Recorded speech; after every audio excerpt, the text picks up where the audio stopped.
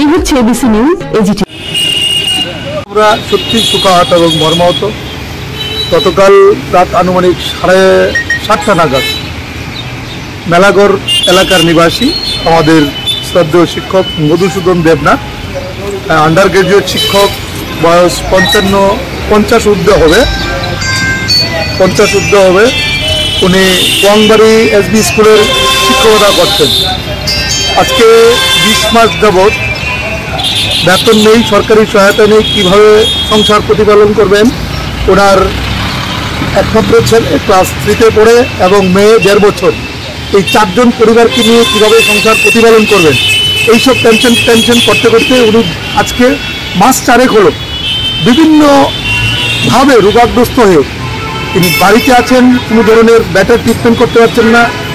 আর্থিক অনটন এতটাই যে কোনোখান থেকে ওষুধ কিনবেন সে পয়সাটুকু নেই। এইসব চিন্তা করতে করতে উনি গতকালকে আমাদের ছেড়ে পরলোক গমন করছেন। এখন অব্দি আমরা একশো চোদ্দ জনকে হারিয়েছি। আজকের দিনে দাঁড়িয়ে আমরা প্রশ্ন করতে চাই, রাজ্যের মাননীয় মুখ্যমন্ত্রী এবং রাজ্যের শিক্ষামন্ত্রীর কাছে, আর কতজন প্রয়াত হলে আপনারা সচেতন হবেন আপনার ঘুম ভাঙবে। আপনারা এখনও অন্ধ নিদ্রায় আছেন। বারবার বলতে হচ্ছে, আজকে দেড় মাসে আমরা ছয়জন সহযোদ্ধাকে হারিয়েছি। এক সপ্তাহের মধ্যে চারজন আমরা সহযোদ্ধাকে হারিয়েছি।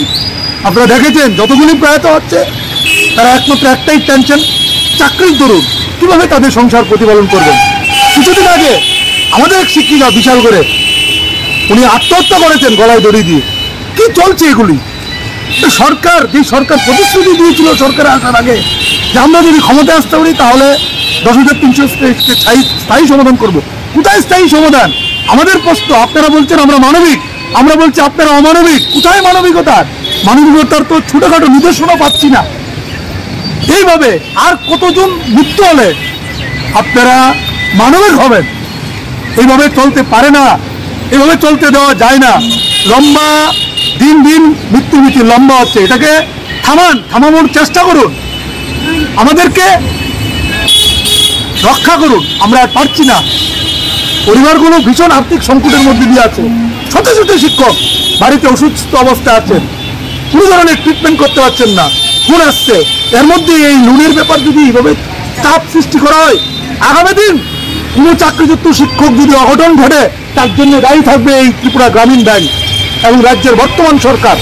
আমরা চাই না আর কোনো সহযোদ্ধাকে হারাতে। তাই আজকের দিনে আমরা সত্যিই মর্মাহত এবং সুখাহত আজকের দিনে দাঁড়িয়ে রাজ্য সরকারের কাছে আবারও আবেদন করব। আপনারা স্থায়ী সমাধানের রাস্তায় হাঁটুন এবং মৃত্যু মিছিল বন্ধ করুন। এটা থামাবার চেষ্টা করুন।